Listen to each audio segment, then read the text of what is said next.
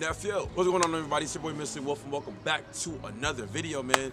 Listen, a lot of shit has happened over the past like couple of months, type shit. So I felt like, you know, I wanted to give you guys a little like quick little update to see like see what's going on, type shit. So I'm gonna split this video into like segments. So we're gonna go with like the gaming section, the music section, my life section, and then we just gonna kind of like just keep going from there. All right. As far as the gaming section is concerned, I've been playing a lot of games, most most notably Hades.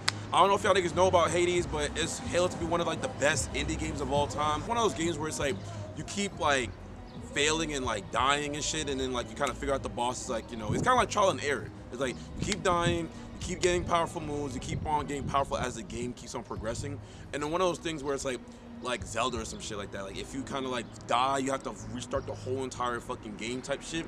But you kind of keep getting new upgrades and new things to make yourself even stronger, and it kind of lasts throughout the rest of your experience. So it's one of those games, and I've been enjoying it. Like I think it's a really solid ass game. It has great music, great voice acting, the lore in it between like you know the main character and like his father is really fire. The weapons and like even like the upgrades that you get is really cool. It's a really dope ass game. So like I recommend anybody who kind of like likes like one of those mindless games that you know if they want to shoot, they want to like you know slay some demons or whatever. If you guys like those games, I think you'll enjoy Hades. I think Hades is a definitely solid ass experience so far for me. Um, another games I've been playing is Persona 4 Golden.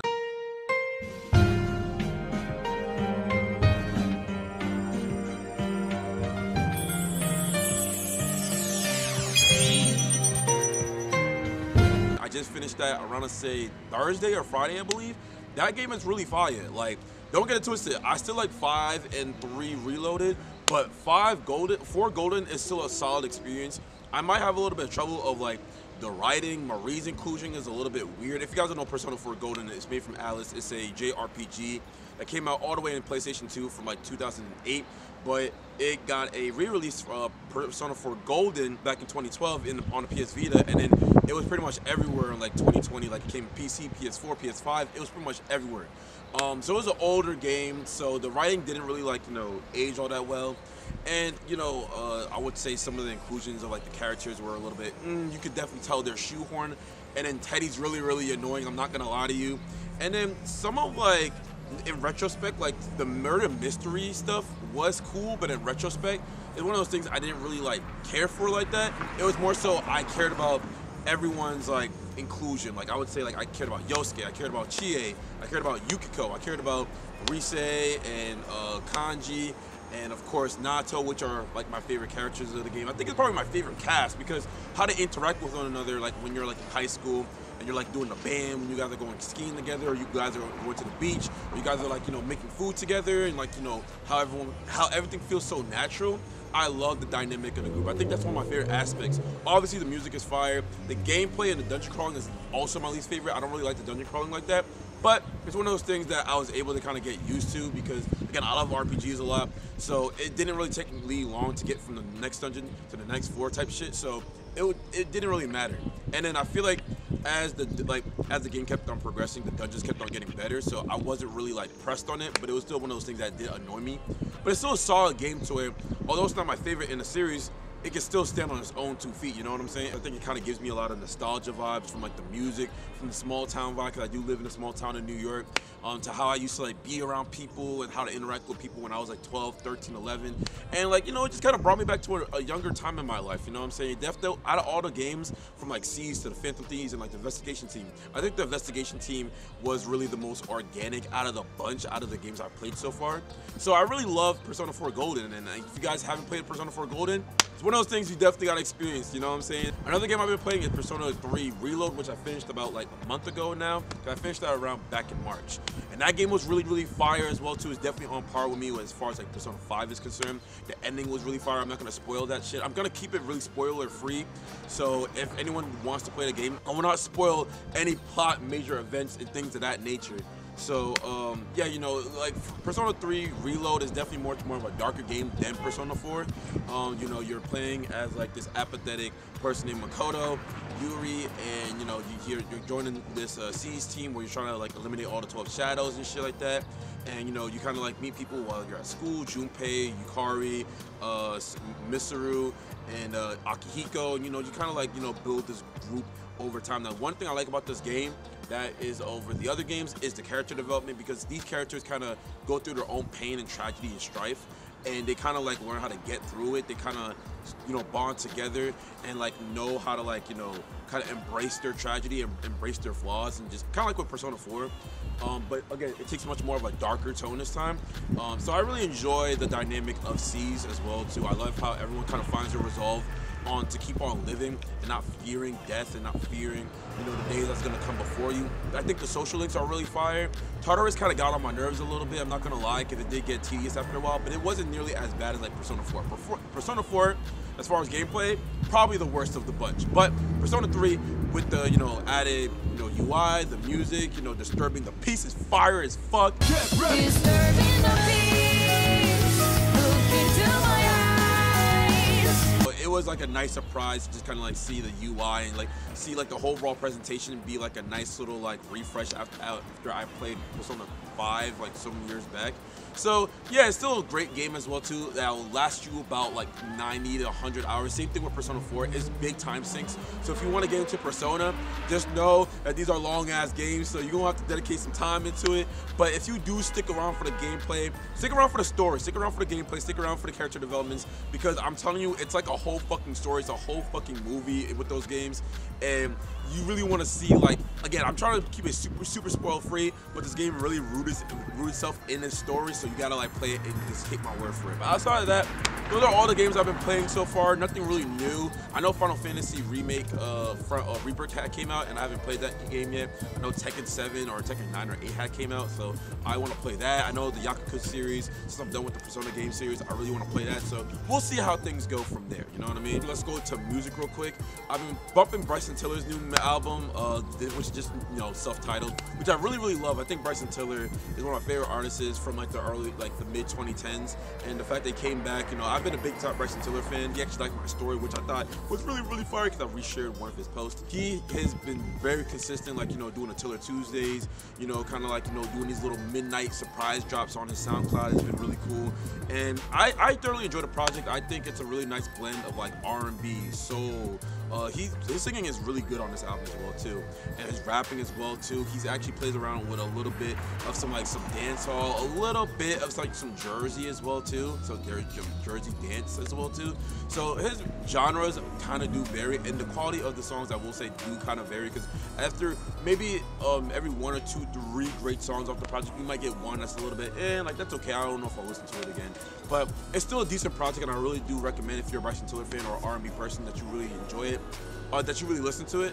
I've been listening to Sir's, um, which is really great. I, I, love Sir's album. Sir has a really great uh, catalog.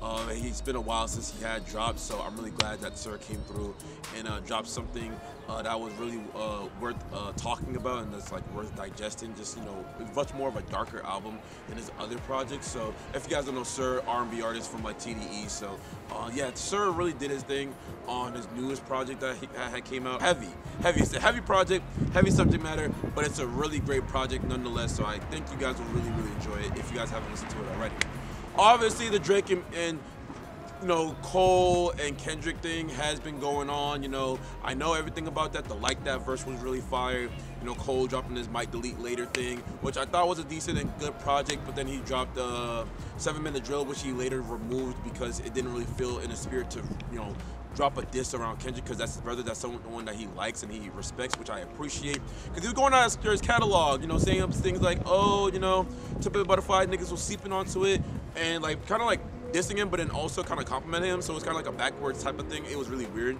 And he went on his Dreamville tour, and it was like, hey guys, like I'm not really feeling it.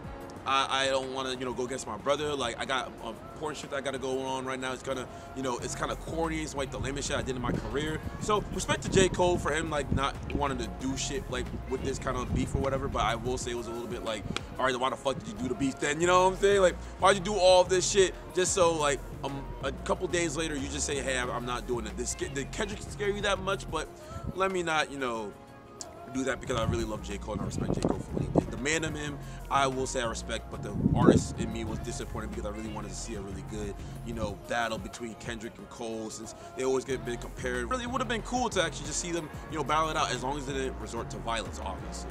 Um, but you know, Drake put it upon himself to release Push-Ups, which I thought was a really good diss because you know he came after The Weeknd, Metro, Future, I think ASAP Rocky, obviously Kendrick, uh, Rick Ross. So he came after a lot of people, and you know he has some good um, um, good lines as well too. Metro shut your whole ass up and make some drums. He even um, you know mentioned Kendrick's size, his shoe size, and you know like the whole body the bodyguard like Whitney.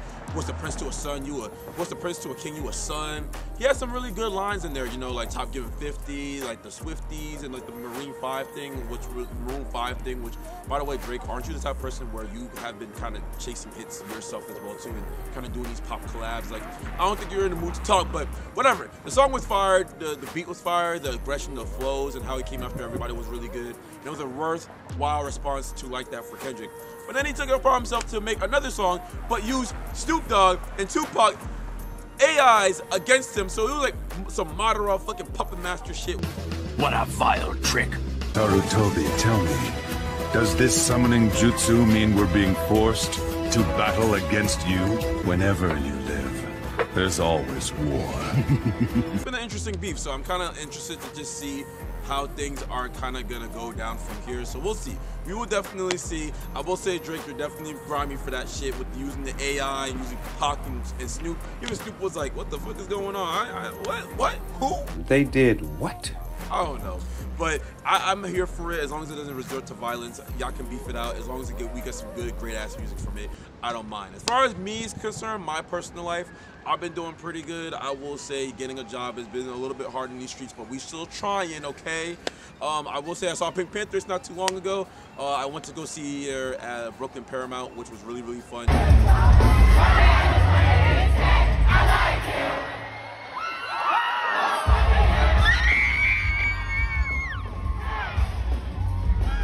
Brought Ice Spice, Kalela, and she also had BK the Ruler uh, opening for her, and it was really fire. I'll show some clips here and there.